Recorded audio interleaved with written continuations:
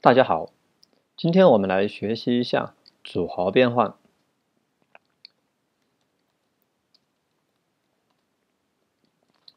假设我们有一个立方体，这个立方体由八个顶点构成。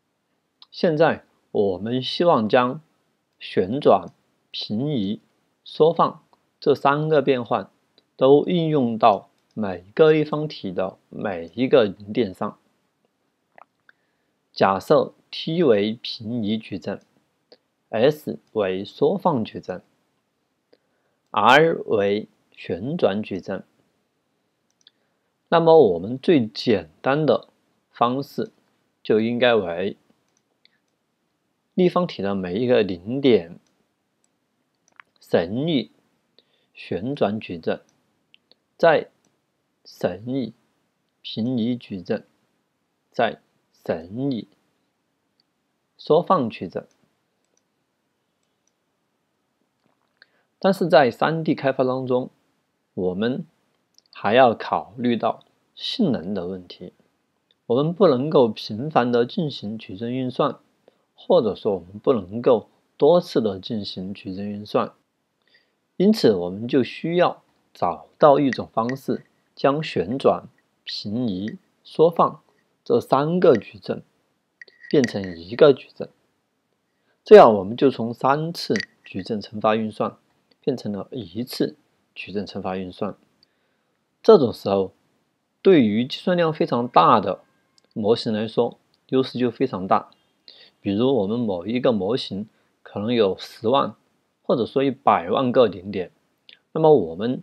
将三次变成了一次，其实中间就少了可能有二十万，或者说两百万次运算。在之前我们学习矩阵乘法的时候，我们学习过矩阵乘法的结合律，那么我们就可以将上述的方程改为 Vij 乘以 Rts，然后我们将 RTS 预先计算出来，就得到了一个矩阵 M。我们就通过这种方式，将三个矩阵封装为一个矩阵。换句话说，矩阵乘法可以让我们把多个变换连接到一起。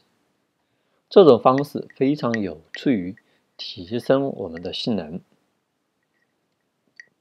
然后我们在 Unity 3D 里面来看一下 Unity 3D 里面它的矩阵的元素的值，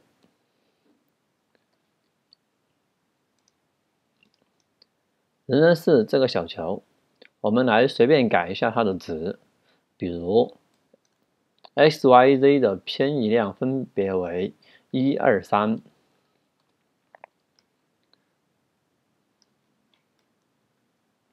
然后我们再来改变一下它的缩放的值，在 x 轴上面我们缩放零点五倍，在 y 轴上面我们缩放一点一倍，在 z 轴上面我们不变。然后我们来输出一下这个矩阵的元素的值。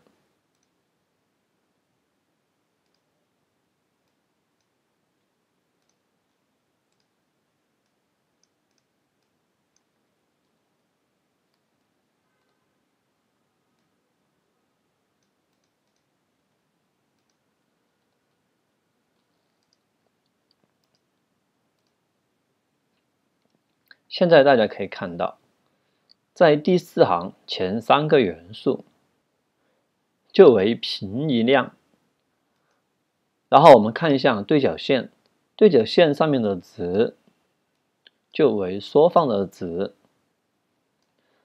最后我们再来改一下它的角度，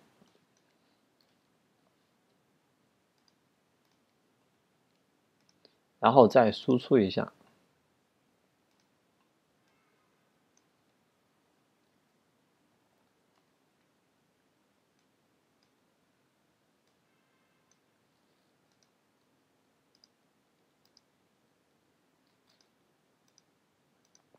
这个矩阵就是我们将平移矩阵、缩放矩阵和旋转矩阵组合为一个矩阵的结果的值。